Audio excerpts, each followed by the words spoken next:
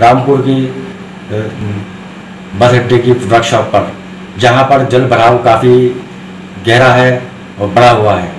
यहाँ हालाँकि ये जल भराव आज नई बात नहीं है, पिछले कई सालों से यहाँ यहाँ पानी इकट्ठा हो रहा है। लेकिन जब बरसात आती है तो ज़रा सा पानी पड़ते हैं, यहाँ पर काफ़ी पानी इकट्ठा हो जाता है। हालाँकि ये पाश इलाका है और यहाँ रामपुर की मेन सड़क कहलाती है और यहाँ पर आवाजाही काफ़ी लोगों की यहाँ पर रहती है। इसके बावजूद भी यहाँ पर पानी इकट्ठा है। यहाँ से मेन मतलब यहाँ पर यह है कि यहाँ वर्कशॉप है और वहाँ पर कर्मचारी जो है, वहाँ पर काम करते हैं और बेचारे गरीब लोग हैं, वो काम करते हैं उसमें। तो उसमें उनके लिए बहुत परेशानी का सामना करना पड़ रहा है और जल भराव की वजह से वो लोग जब उसमें निकलते हैं तो उनके पैरों में घाव पड़ गए हैं। जब कर्मचारियों से यहाँ की बात हुई तो उन्होंने बताया कि हमने शिकायती प्रार्थना पत्र आला अधिकारियों को, मंत्री, मिनिस्टर और मुख्यमंत्री तक को हम भेज चुके हैं।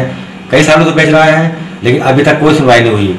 हालाँकि यहाँ उन्होंने ये भी बताया अभी कि यहाँ अभी कुछ दिन पहले करंट भी आ गया था, जिसके रहते फ़ौरन बिजली की सप्लाई बंद कर दिया गया, जिसकी वजह से जो है वो किसी की जानी या माली नुकसान तो नहीं हुआ, लेकिन वहाँ करंट तो आया ना।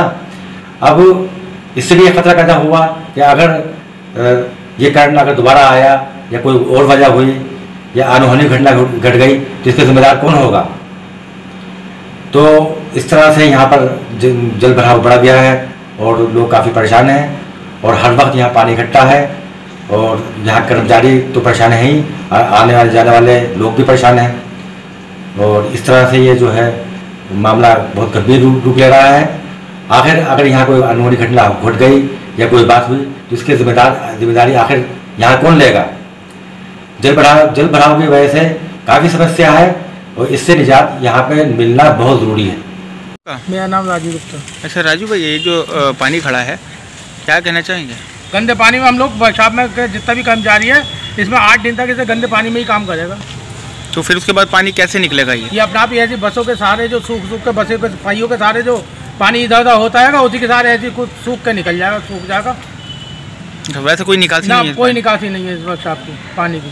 का। क्या नाम है अपना? मेरा संजीव कुमार। अरे संजीव भाई क्या मामला है करंट और पानी को लेकर? कल मैं यहाँ आया था तो तो मिस्त्री साहब बता रहे थे बोले इसमें अलग पढ़ के चलो करंट आ रहा है इसमें सब में। तो क्यों आ रहा था करंट कहीं लाइट का फॉल्ट था कहीं पे। उसका कोई समझ में नहीं आ रहा था तो उन्होंने लाइन वाइन सब काट दी थी।